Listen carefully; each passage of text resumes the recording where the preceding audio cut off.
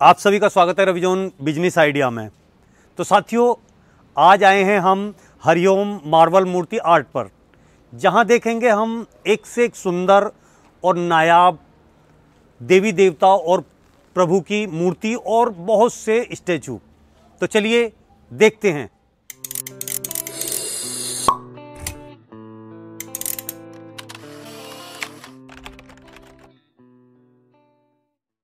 नई वीडियो जल्दी पाने के लिए चैनल को सब्सक्राइब करें और घंटी के बटन को ज़रूर दबाएँ।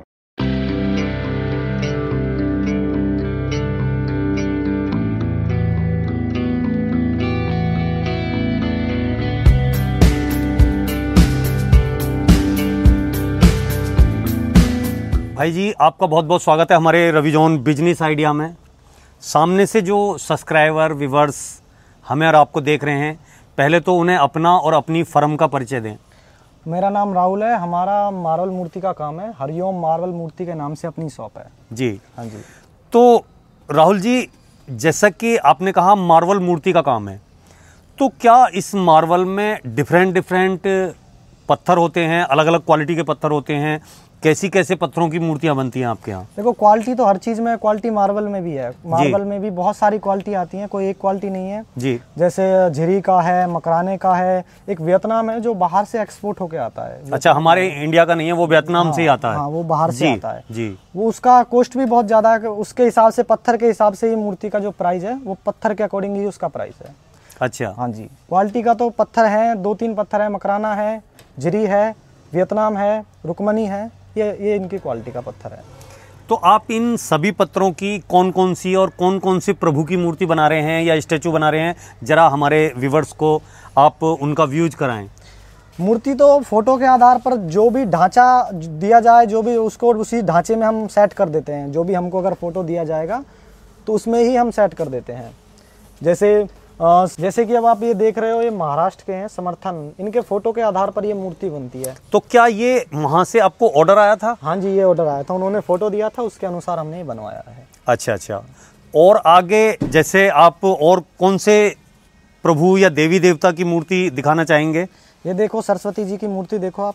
हाँ ये विद्या की देवी हैं। हाँ जी हाँ जी। और हमारे हिंदू धर्म में बड़ी ही मान्यता है सरस्वती जी की। हाँ जी। और जितने भी शिक्षण या शिक्षा से संबंधित लोग हैं वो इन्हें बहुत ही ज़्यादा मानते हैं। इनकी हाइट चार फीट है जी। पत्थर नॉर्मल है लेकिन जिस कारीगर ने बनाया है देखो कारीगरी का काम है पत्थर का कुछ भी नहीं है। कारीगर के ऊपर डिपेंड करता है कि वो उसको किस प्रकार का ढांचा देता है। हाँ। वही मूर्ति पचास की भी हो जाती है पचास हज़ार की लाख की भी हो जाती है उससे हाँ, कम भी हो जाता है वो पत्थर की क्वालिटी हाँ, हाँ। प्लस जो है कारीगर के हाथों का जादू। हाँ जादू बिल्कुल। उसके ऊपर डिपेंड करता है। बिल्कुल साहब बिल्कुल।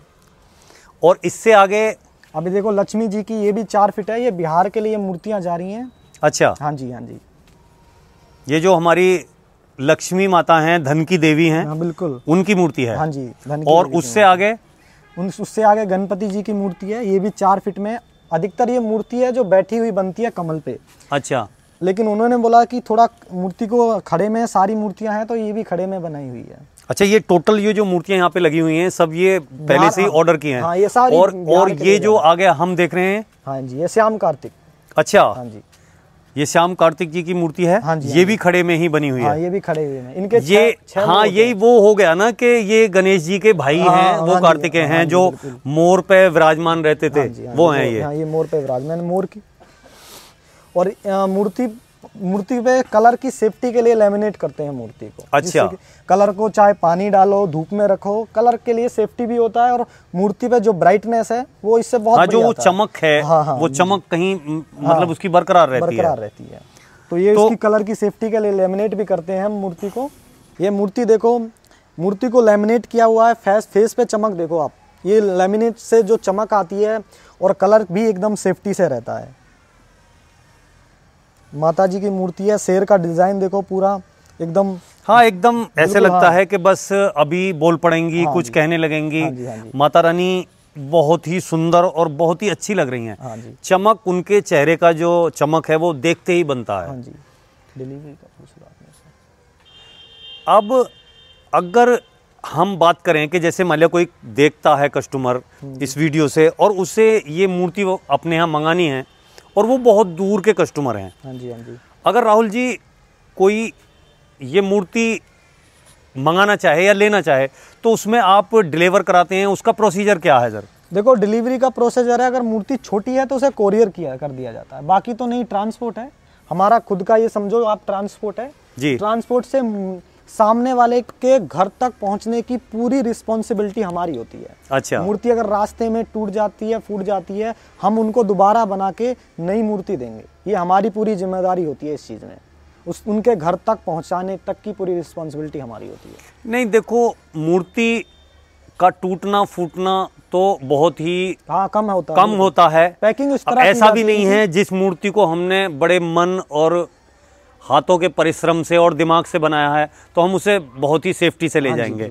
और कुछ ना करें तो ऐसा तो नहीं है कि हमने कुछ ऐसा गलत काम नहीं किया है नहीं, तो हमारे बाबा हनुमान हैं ये हमें ऐसा बोझ डालेंगे कि हमारी मूर्ति तोड़ देंगे या कुछ होगा। तो सब इन देवी देवताओं की कृपा रहती है उसमें ये भी। तो ये तो है ही हम हम भी तो इनकी पूजा करते हैं हम भी तो इन्हीं की पूजा करते हैं। अगर इनके साथ हम टूट के तोड़ के या फिर कैसे भी भेजेंगे तो ये तो ऊपर वाला भी देख रहा है तो हाँ, तो वो अच्छे से जी, सेफ्टी से ही ले जाया जाता है। सेफ्टी से ले जाया जाता है पैकिंग अच्छे से की जाती है जिससे कि मूर्ति अगर टूट जाए तो हमारा भी नुकसान होता है सामने वाले को भी टाइम भी खराब होता है उसका उसको भी दिक्कतें आती हैं तो राहुल जी जैसे कि ये बजरंग बली जी की मूर्ति है पवन पुत्र की ये मूर्ति है हम्म। तो इसकी हाइट क्या है इसकी हाइट पाँच फीट है अ, सर तक हाँ मैं। यही तो देख रहा हूँ ये आपसे भी ज़्यादा ऊँची लग रही है हाँ देखने हाँ में। जी ये क्या करते हैं ये इनकी हाइट है और पर्वत इनसे ऊपर जाता है। ये अच्छा, वी- अच्छा। इनको वीर हनुमान कहते हैं। ये लाल पत्थर में भी लगते हैं जिन अच्छा। पर चोला चढ़ाते हैं इस पे आप चोला नहीं चढ़ा सकते हो।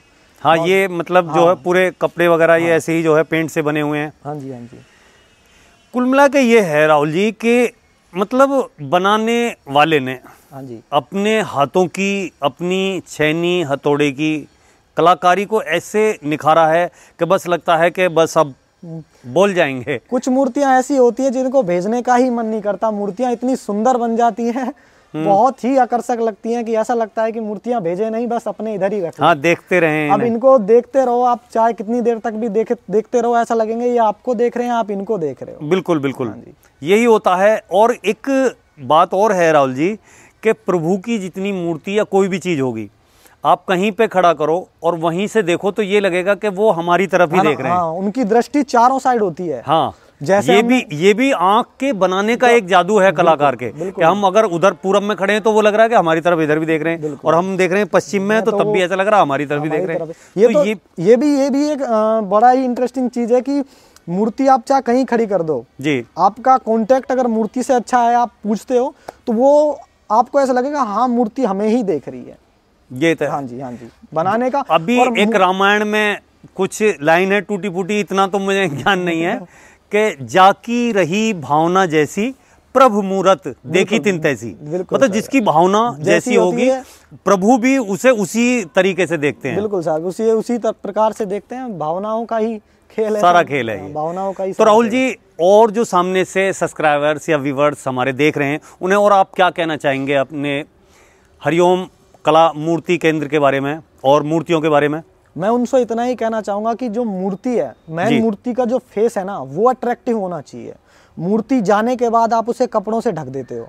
मूर्ति का पूरा जो बॉडी है वो कपड़ों से ढकी होती है। जी। सबसे जो सबसे ज़्यादा ध्यान जो आदमी का जाता है वो फेस पे जाता है। मूर्ति आप चाहे कहीं से लो ये ज़रूरी नहीं है कि मैं आपको फोर्स कर रहा हूँ या बता रहा हूँ कि मूर्ति आप हमसे ही लीजिए। लेकिन जो फेस है ना फेस वो अच्छा होना चाहिए मूर्ति का। बाकी तो आप मूर्ति को कवर कर ही दोगे।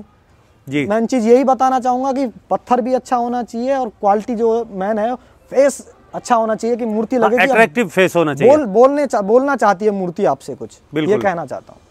तो राहुल जी आपने ये हमें इतने देवी देवताओं और भगवान की मूर्ति के दर्शन कराए उसके लिए आपका बहुत बहुत धन्यवाद।